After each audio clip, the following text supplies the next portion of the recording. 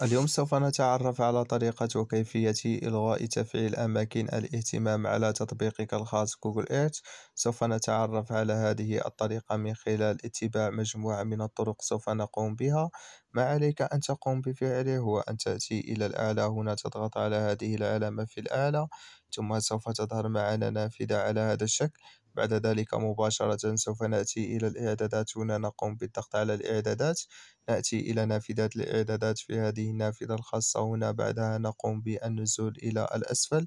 نأتي إلى أماكن الاهتمام هنا في هذه النافذة. نضغط على العلامة الزرقاء وهنا اختفت هذه العلامة يعني تم إلغاء تفعيل أماكن الاهتمام على تطبيقك الخاص جوجل إيرث وهنا نكون قد قمنا بإلغاء تفعيل هذه الميزة الخاصة.